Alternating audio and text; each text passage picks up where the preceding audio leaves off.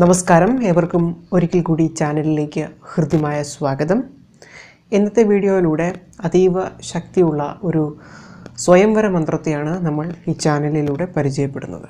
ഇതുപോലുള്ള വീഡിയോകൾ നിങ്ങളിലേക്ക് എത്തുന്നതിന് ഇപ്പോൾ തന്നെ ഈ ചാനൽ ദയവായി സബ്സ്ക്രൈബ് ചെയ്യുക. തുടർന്ന് വരുന്ന ബെൽ ബട്ടൺ ഇനേബിൾ ചെയ്ത് നോട്ടിഫിക്കേഷൻ ഓൺ ചെയ്യാനും മറക്കരുത്. ഇന്നത്തെ വീഡിയോയിലൂടെ അതീവ ശക്തിയേറിയ ഒരു സ്വയംവര മന്ത്രത്തെയാണ് നമ്മൾ പരിചയപ്പെടുന്നത്. വിവാഹ തടസ്സം കൊണ്ട് ദുഃഖം അനുഭവിക്കുന്ന സ്ത്രീ പുരുഷന്മാർക്ക് നിത്യേന പ്രാർത്ഥനയുടെ ഭാഗമാക്കിക്കൊണ്ട് ജപിക്കാൻ സാധിക്കുന്ന ഒരു മന്ത്രമാണ് ഈ സ്വയംവര മന്ത്രം. അത്ഭുത ശക്തിയുള്ള ഈ സ്വയംവര മന്ത്രം ദിവസവും രാവിലെ നാൽപ്പത്തി ഒന്ന് പ്രാവശ്യം ജപിക്കുന്നത് വളരെ വേഗം വിവാഹം നടക്കുന്നതിന് കാരണമായി തീരാറുണ്ട്. നിലവിളക്കിന് മുന്നിൽ ഇരുന്നു വേണം ഈ മന്ത്രം ജപിക്കുവാൻ. ശുഭ്രവസ്ത്രം ധരിച്ച് വേണം ഈ മന്ത്രജപത്തിൽ ഏർപ്പെടുന്നത്. ശുഭ്രവസ്ത്രം എന്നാൽ വെളുത്ത വസ്ത്രം എന്നാണ് അർത്ഥം. പാർവതീദേവിയുടെ കടാക്ഷം സിദ്ധിക്കുന്നതിനും വളരെ വേഗത്തിൽ വിവാഹം നടക്കുന്നതിനും ഇതിൽ കവിഞ്ഞ് ഒരു മന്ത്രമില്ല ഇതിൽ കവിഞ്ഞൊരു കർമ്മമില്ല എന്നാണ്. പറയപ്പെടുന്നത്. ഈ മന്ത്രത്തോട് ഒപ്പം തന്നെ ഒരു ധ്യാന ശ്ലോകവും തുടർന്ന് മൂലമന്ത്രവും വരുന്നുണ്ട്. അപ്പം നമുക്ക് ധ്യാന ശ്ലോകം മാത്രം നമ്മുടെ പ്രാർത്ഥനയുടെ ഭാഗമാക്കിക്കൊണ്ട് രാവിലെയും വൈകിട്ടും ജപിക്കാവുന്നതാണ്. മൂന്ന് പ്രാവശ്യം ജപിക്കുകയാണ് ഇതിന്റെ ഒരു ജപസംഖ്യ എന്ന് പറയുന്നത്. പിന്നെ നമ്മൾ മൂലമന്ത്രം കൂടി ജപിക്കുകയാണ് എന്നുണ്ടെങ്കിൽ പ്രഭാതത്തിൽ മാത്രം അത് ചെയ്യുക. അങ്ങനെ ചെയ്യുമ്പോൾ നമ്മൾ കുറച്ച് നിഷ്ഠകൾ കൂടി പാലിക്കേണ്ടതുണ്ട്. ശുഭ്രവസ്ത്രം ആയിരിക്കണം ധരിക്കേണ്ടത്. പുലർച്ചെയാണ് നമ്മളിത് ചെയ്യേണ്ടത്. അത് ബ്രാഹ്മ മുഹൂർത്തത്തിൽ ഉണർന്ന് വിളക്ക് തെളിച്ചുകൊണ്ട് നമുക്ക് ഈ മന്ത്രം നാൽപ്പത്തി ഒന്ന് ഒരു ജപിക്കാം. അതായത് ധ്യാന ശ്ലോകം മൂന്ന് പ്രാവശ്യവും തുടർന്ന് മൂലമന്ത്രം നാൽപ്പത്തി ഒന്ന് പ്രാവശ്യവും നമുക്ക് ജപിക്കാം. അപ്പോൾ ഇനി ആ ധ്യാന ശ്ലോകം എങ്ങനെ എന്നുള്ളതാണ്. ശംഭും ജഗന്മോഹനരൂപപൂർണം. വിലോക്യ ലജ്ജകലിതാം സ്മിതാഢ്യം. മധുകമലാം സ്വസഖികരാഭ്യാം. സംബിഭ്രതീം അദ്രിസുതാം ഭജേയം.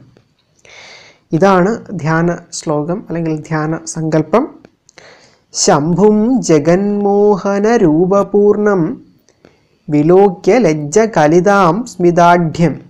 മധുകമലാം സ്വസഖികരാഭ്യാം സംബിഭ്രതീം അദ്രിസുതാം ഭജേയം.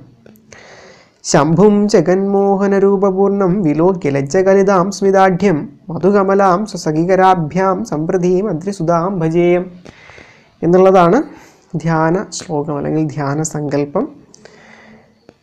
ഈ ഒരു ധ്യാന സങ്കല്പത്തിന്റെ അർത്ഥം ലോകം മുഴുവനും മോഹിപ്പിക്കുന്ന രൂപലാവണ്യത്തോടുകൂടി പുഞ്ചിരി പൊഴിച്ചുകൊണ്ടുള്ള മുഖഭാവത്തോടെ ശിവനെ നോക്കി ലജ്ജയോടെ വരണമാല്യവുമായി നിൽക്കുന്ന പാർവതീ ദേവിയെയാണ് ഈ ഒരു ധ്യാന സങ്കല്പത്തിൽ വർണിച്ചിരിക്കുന്നത്.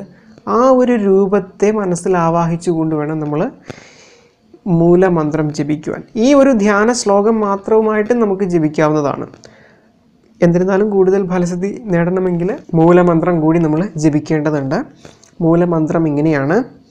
ഓം ഹ്രീം യോഗിനി യോഗിനി യോഗേശ്വരി യോഗേശ്വരി യോഗഭയങ്കരി സകല സ്ഥാവരജംഗമസ്യ മുഖഹൃദയം മമ വശം ആകർഷയ ആകർഷയ സ്വാഹ. ഇതാണ് മന്ത്രം. ഓം ഹ്രീം യോഗിനി യോഗിനി യോഗേശ്വരി യോഗേശ്വരി യോഗഭയങ്കരി സകല സ്ഥാവരജംഗമസ്യ മുഖഹൃദയം മമ വശം ആകർഷയ ആകർഷയ സ്വാഹ. ഇതാണ് മൂലമന്ത്രം. ഒരിക്കൽ കൂടി പറയാം. ഓം ഹ്രീം യോഗിനി യോഗിനി യോഗേശ്വരി യോഗേശ്വരി യോഗഭയങ്കരി സകല സ്ഥാവര ജംഗമസ്യ മുഖ ഹൃദയം മമ വശം ആകർഷയ ആകർഷയ സ്വഹ. ഈ മൂലമന്ത്രവും ധ്യാന ശ്ലോകവും നിത്യേന ജപിക്കുകയാണ് എന്നുണ്ടെങ്കിൽ അധികകാലം ചെല്ലും മുൻപ് തന്നെ വിവാഹം നടക്കുന്നതായി കാണപ്പെടുന്നുണ്ട്. അപ്പോൾ വിവാഹം നടക്കാത്തവരാണ്. പല വഴിപാടുകളും പൂജകളും ചെയ്തിട്ടും വിവാഹം നടക്കുന്നില്ല എന്നുണ്ടെങ്കിൽ ഈ ഒരു മന്ത്രം കൂടി നിങ്ങൾക്ക് പരീക്ഷിക്കാവുന്നതാണ്. തീർച്ചയായിട്ടും ഫലസിദ്ധി ഉണ്ടാകും. വലിയ പൂജകളും വലിയ വഴിപാടുകളും ഒന്നും ചെയ്തിട്ട് വെറുതെ ദുർ ധനം ദുർവ്യയം ചെയ്യേണ്ട കാര്യമില്ല. നിങ്ങൾക്ക് ഈ ഒരു മന്ത്രം നിത്യേന രാവിലെ പാർവതി ദേവിയെ മനസ്സിൽ സ്മരിച്ച് ജപിക്കാവുന്നതാണ്. ഇതുപോലുള്ള കൂടുതൽ അറിവുകൾക്ക് ചാനൽ സബ്സ്ക്രൈബ് ചെയ്യുക. നന്ദി.